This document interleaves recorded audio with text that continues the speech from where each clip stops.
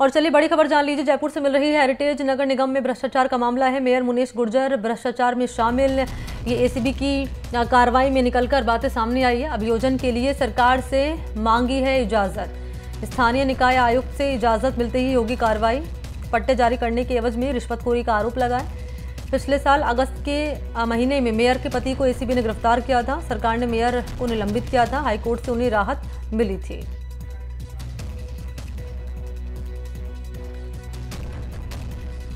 तो हेरिटेज नगर निगम में भ्रष्टाचार का पूरा मामला और अपडेट इसमें जान लीजिए कि मेयर मुनेश गुर्जर भ्रष्टाचार में शामिल है। महत्वपूर्ण ये है कि मेयर मुनेश गुर्जर भ्रष्टाचार में शामिल है, ये एसीबी कह रही है।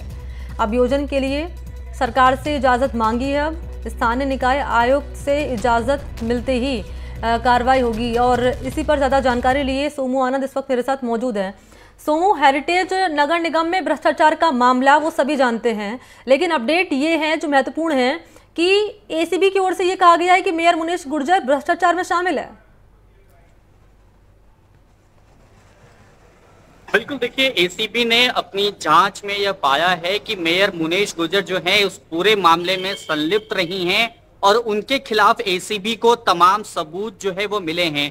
अब इन्हीं सबूतों के आधार पे एसीबी ने ये कहा है, अभियोजन की अनुमति मांगी है सरकार से।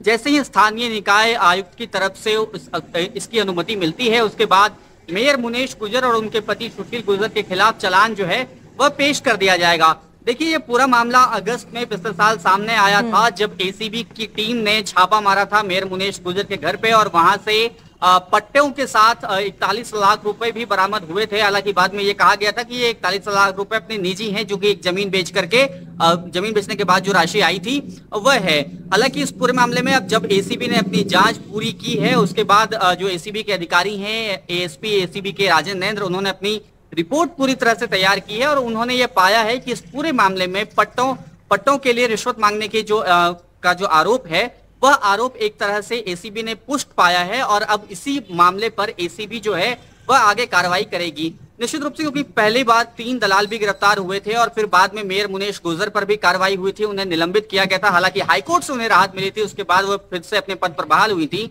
लेकिन एक बार पुनः उन पर जो निलंबन की और कार्रवाई की तलवार जो है, वो लटकती हुई दिखाई दे रही है। और इस पर क्या कह रही हैं मुनेश गुर्जर, जो मेयर हैं, उनका कोई अभी तक बयान सामने आया है? क्योंकि ये बड़ी बात है जो एसीबी की ओर से कहा जा रही कही जा रही है उनके लिए।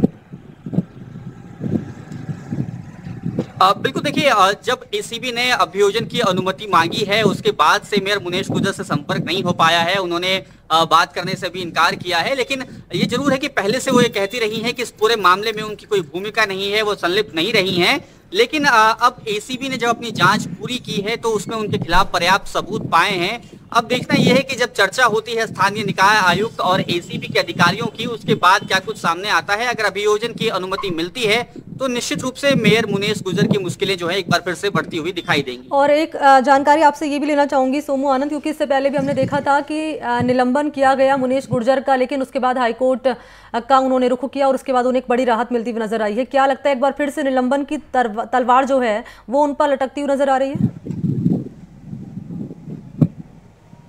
निश्चित रूप से देखिए, अगर अभियोजन की अनुमति मिलती है तो उसके बाद से इस बात के बहुत प्रबल संभावना इस बात की है कि उन पर फिर से एक बार निलंबन का खतरा खतरा आ सकता है।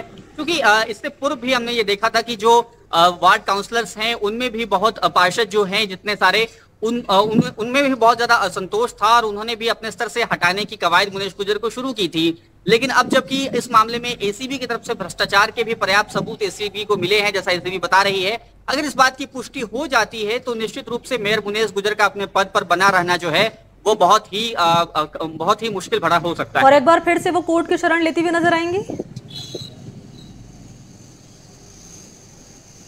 देखिए मेयर मुनीस गुजर इस मामले में क्योंकि अब एसीबी जब पहले कार्रवाई करेगी एसीबी अपना चलान पेश करेगी तो निश्चित रूप से कोर्ट में जब कार्रवाई होगी तो उसमें मुनीस गुजर भी एक पक्ष होंगी। तो वहाँ पर उनके पास इस बात की आज़ादी तो होगी ही कि वो कोर्ट में अपना पक्ष रख सके। ठीक है शुक्रिया आपका सोमो आनंद तमाम अपडेट इस मामले पर देने की